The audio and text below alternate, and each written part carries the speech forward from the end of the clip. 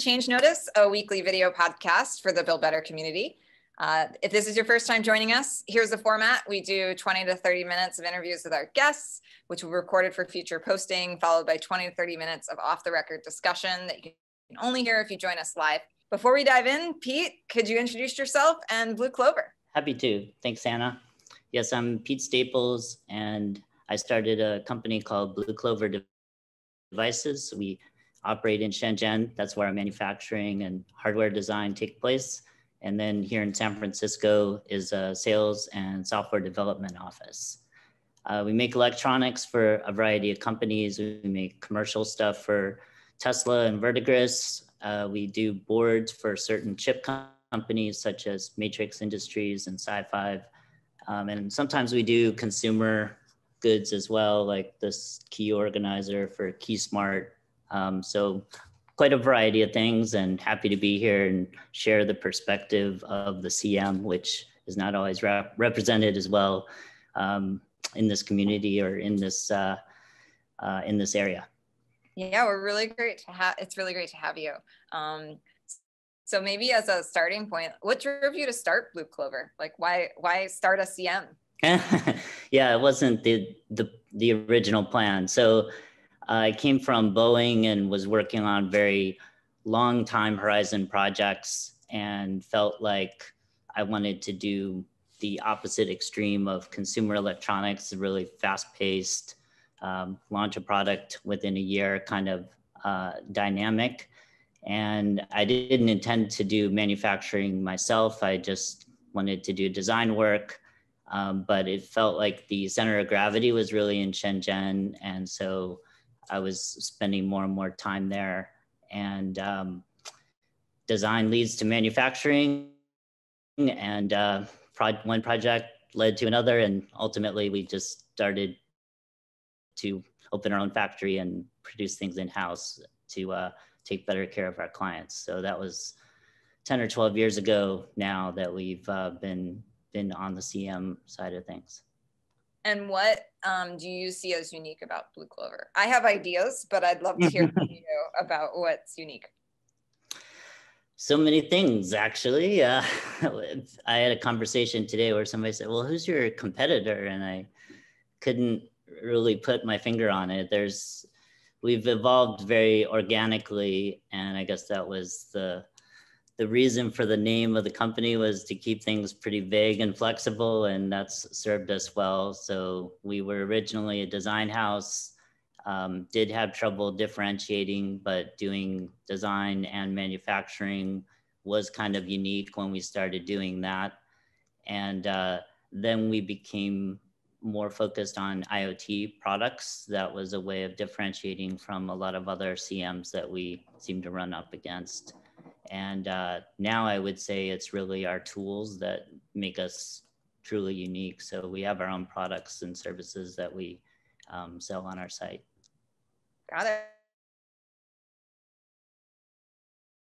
Awesome. I'm sure folks are really curious to hear because we've been spending a lot of time talking on the uh, on the brand side of like how COVID and the chip shortages have have kind of affected them. But how has it affected Blue Clover? Um, and your customers, what you can share, like in general, about the impacts of the last, you know, 18 months or so um, on your business and your customers' business. Uh, it's it's definitely disrupting plans. Uh, that's it's not a it's not a myth or anything. Um, we just placed an order with Nordic uh, for NRF 52 832s, and they said 52 weeks, and we have not heard anything different. So uh, it's it. We're trying to see the silver lining and and uh, treat this as an opportunity to make better products. Since we can't really make anything right now anyway, let's just take the time that we never seem to have to uh, improve the design and do a more thorough job than we often get to. Um, it, but it is unprecedented. I mean, there have been shortages in the past, but we haven't seen anything that was this long in our in our history. And then of course the travel has also been a unique situation too. So normally I'm back and forth a lot between the offices, um, generally once a quarter, but I haven't been there since since this all started. I, me neither. We have a we have a team in Shenzhen as well, and uh, there's many I have yet to meet. Um, haven't been able to be there in quite a long time. Um, how have your customers' needs changed during this time? Well, a lot of people are uh, shifting production. I guess this isn't necessarily COVID or chip shortage, it's uh, more geopolitical dynamics. So we have had a lot of com- companies urge us to produce in places other than Shenzhen and or have have other options. Um, we know a lot of people are shifting to other uh, Asian locations for production. Um, we haven't really had a project that made that transition. Um, but we we have seen growing interest in our tools because people do need to move things. So having a standard set of equipment that can be ported to different manufacturing locations, uh, something I'm sure you can identify with at Instrumental. Um, it it it's sort of like we built these tools for this kind of scenario, and I, I guess we are seeing some of that play out. And then you also kind of mentioned that you haven't been able to travel. So I'm assuming that you've been adapting as an organization as well. Um, what are kind of some of the adaptations that you've made? Well, we've we've always had uh, um, set meetings, so weekly meetings that are across offices, and it used and it's been on Zoom anyway. So I guess having a multi-location team that has to function together is just usually I'm on different sides of the camera in alternating months and things like that. And now I'm just always in, on the same side. So a lot of the uh, things that may make us a little bit unique on uh, just le- leveraging a lot of cloud-based tools have kind of allowed us to continue a lot more as normal than than uh, I might have expected. It, has been a lot less disruptive than than it could have been. Got it. So, kind of getting into the meat and potatoes, contract manufacturing is a pretty tough business. Um, at least from the outside, it looks tough. Margins might be low. Sometimes, uh, how profitable something turns out to be is really related to how efficiently you can execute as an organization. And so, as a result, there's often only money for investments with strong ROI. At least that's kind of what we've heard. And so I'm sure our community would be really interested in learning a bit more about that. As a leader, how have you gone about putting together a technology strategy for Blue Clover? Like that's what we're going to talk about today is technology in in the factory. So how have you even started from like a strategy perspective, um, given kind of the the pieces of the constraints of the type of business you run? Well, I wish I could say there was this master master plan uh, around our. You know, our honesty is is great too. That'll be very approachable for people.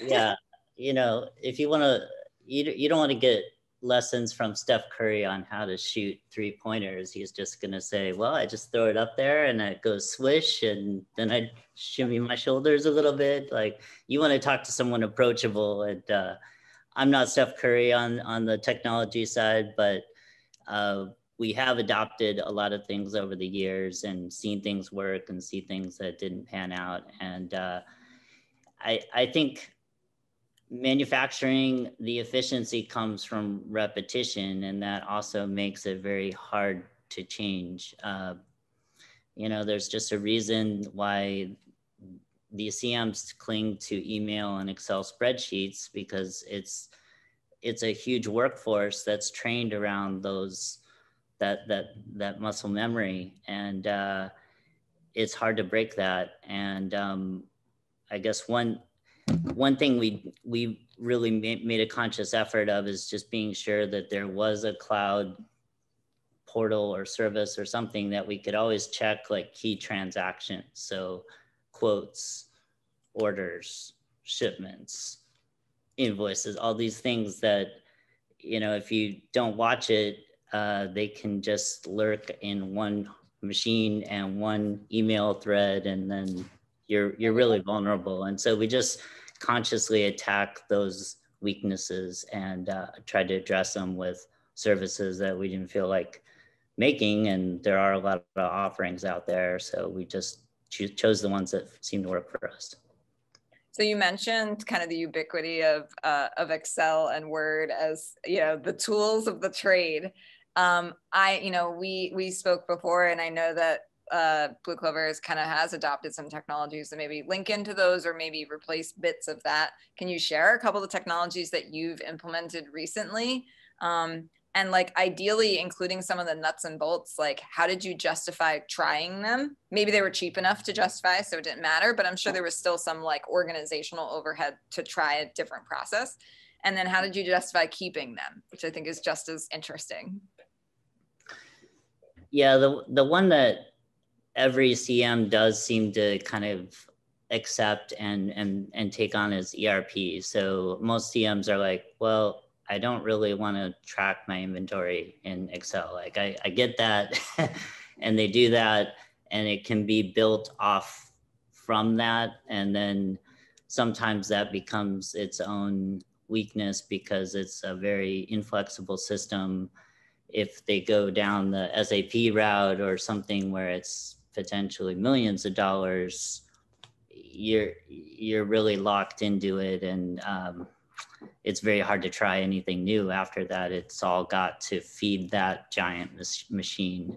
Um, we did we did take on an ERP system, and we actually moved it not that long ago. So it can be done, but it's um, it's not trivial. So we were using a system called Kenandy, which is built on top of Salesforce, and then Kenandy was bought by another company and then we we we kind of felt abandoned a little bit, so we switched to Odoo, which uh, began as Open ERP. It's been around a long time, and it's it's a fairly low cost ERP system. And normally, you hire a consultant to help you build it. Uh, that's what we did, and so we we made that move a few years ago, and then we um, recently shifted from so PLM is kind of what product lifecycle management is what feeds into an ERP system.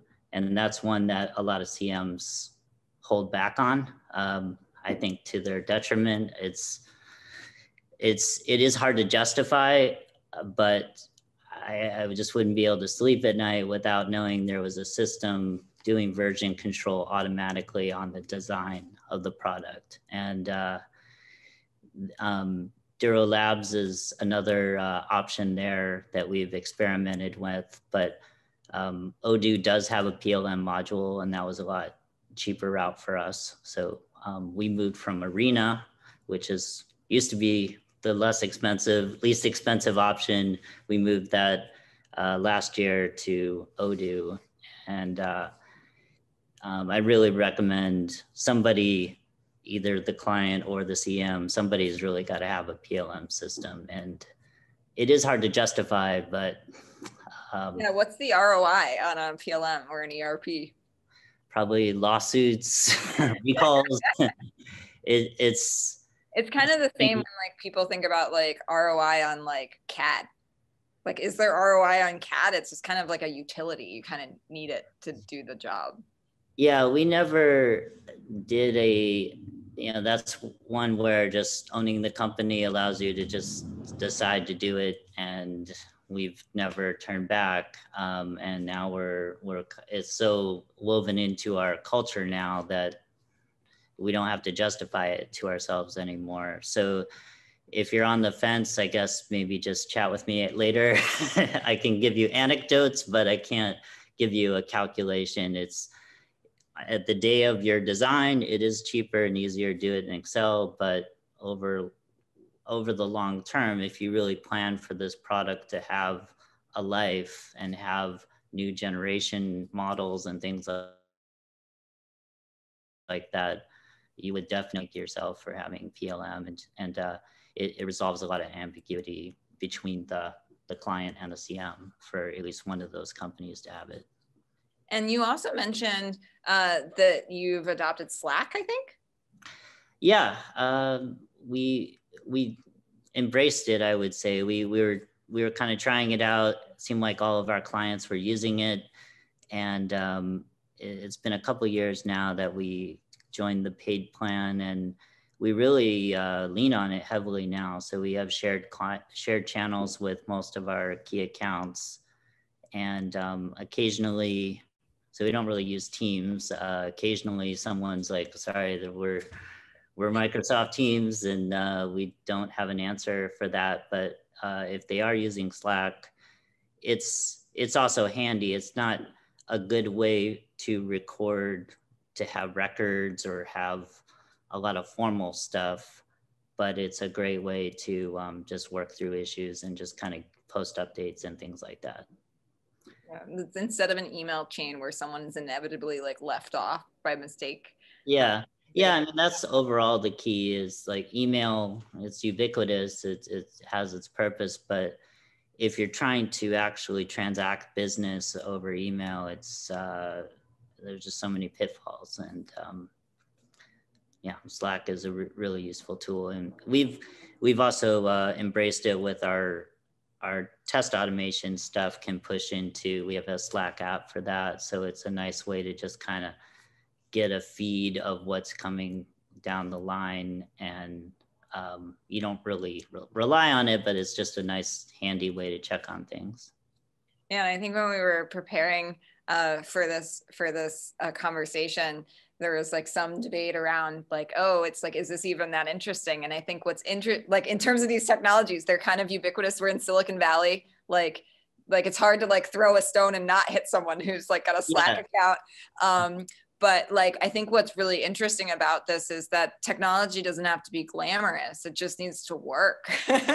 Um and i think there's certainly the um, we we talk to a lot of contract manufacturers who have a really difficult time trying to figure out like how to identify the right technology opportunities or how to structure useful pilots or um, how to think about these kinds of things.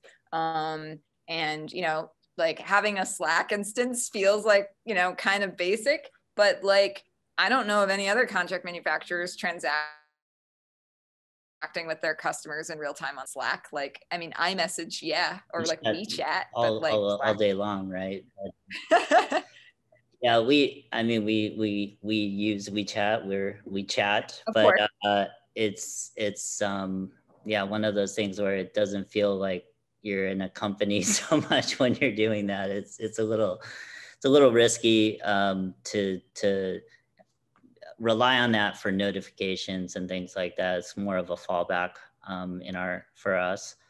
Um, and Slack is cheap, so uh, you know it, it really that one I probably could make up an ROI on just because it's uh it's so easy. Um, awesome.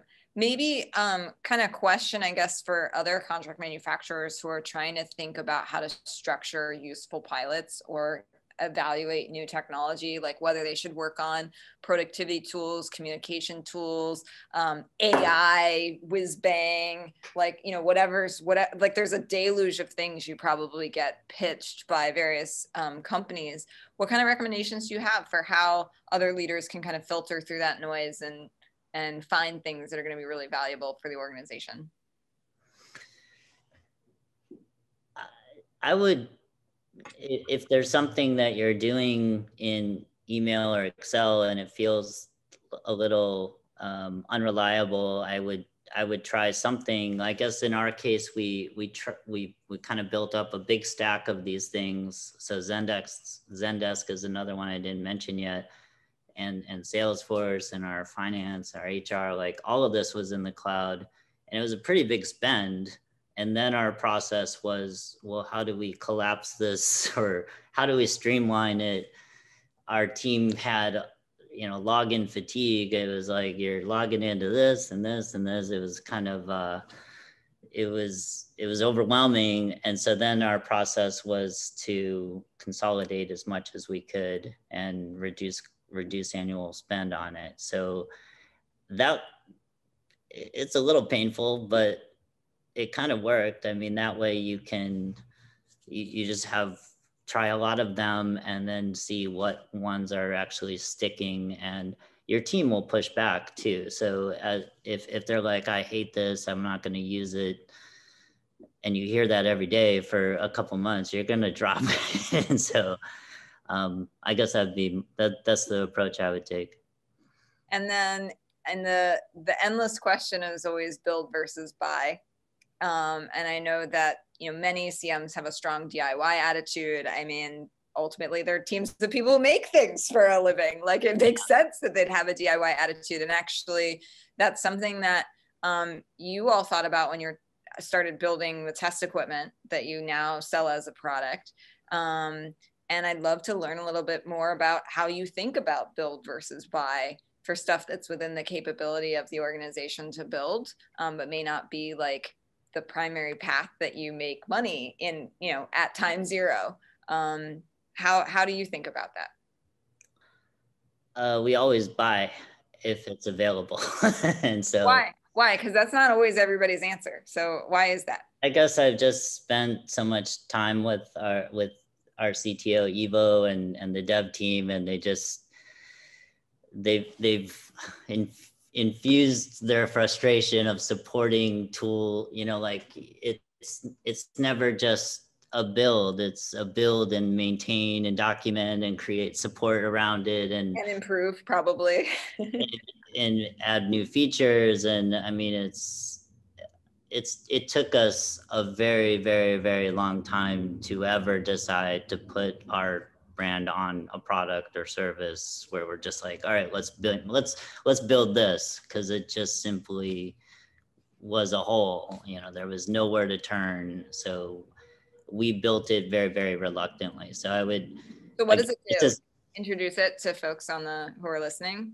Yeah, so it's for firmware deployment and test automation. So generally on when you're making electronics, you got to program them and then you've got to do um, various voltage electrical tests and uh, make, um, make sure everything's within limits and hopefully you have a report at the end of it on every single unit. So our, our box and our cloud backend automates that and uh, we call it the production line tool or or PLT. And like I say, we just couldn't find. There were programming solutions, there were test automation solutions, there were uh, all these things were fairly expensive, and we just it was much easier in this particular case to build it than to buy it.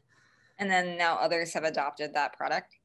Yeah, yeah. So we weren't sure um, it was working for us and we kind of thought hey this could be a product and we feel we've been vindicated in that so uh, it's a product and this year we're launching a gen 2 of that product. Awesome. Really exciting. Congratulations on the on that. Um, and on i guess in this case making the brave decision to build um, maybe because you couldn't buy uh, but uh, you know, it's great to hear. So maybe as a last question before we open up the session, um, for those folks out there who work with CMs, um, whether it's Blue Clover or Foxconn, um, what recommendations do you have for them if they want to implement a technology on their manufacturing line for their product? So like a like essentially a customer driven desire. What's the right way to start that conversation that's like most likely to end positively? getting them to so getting a CM to adopt uh, third party technology yeah or... like maybe there's like a specific thing they want to try like the like the cut your customer wants to try something um or maybe they they want to they've like seen something and they want like the cm to like adapt or utilize um and like some of those conversations are very productive and they go really well um, yeah. I imagine approaches that would not be productive and like would not go well. And so, like, what kind of advice do you have for how you want to be like part of that conversation as a CM when when your customer is really excited to to try something um, out on the line that might be different and new? I think it's one way to make that outcome better is to bring it up early on. So if it's if you're working with a CM and you go through EVT and then DVT and you're, you know, hoping hoping for a successful PVT and then you technology, you're probably going to get a lot of pushback and they're good and they're in a fairly secure position because you're not going to move at that moment. But if it's early in the relationship, that's a great time to bring it up. And um, it does seem I've presented our tool to CMs, and often they are highly resistant. They're like, "Oh, we make that. We have a PLT too, or we build that every day. It's not really that that new." Um, so if you're the customer, you have you have the power. Customer is always right, so you can insist. Um, you can deliver that. I think um, events like this are great because it gets people thinking about uh, what technology they want to see on the line rather than just uh, thinking of it once the line is all set up because it is largely too late at, at that time. And um, uh, so being prepared to deliver it and say, well, here is how we want it tested and just not letting that become part of the quote and, and, and just say, because a lot of CMs will um, make the NRE just very cryptic and, and then once we've seen scenarios where the project is already started and then they've kind of waved their hands about what the NRE is and they'll just say well that's that's included. But then when you want to move it and you want to take these things with you they're like oh well now it's not included anymore. This was actually part of our own factory and you can't take this we'll send the racks but not the equipment um, so having that conversation about the technology you want to use early i guess would be the main advice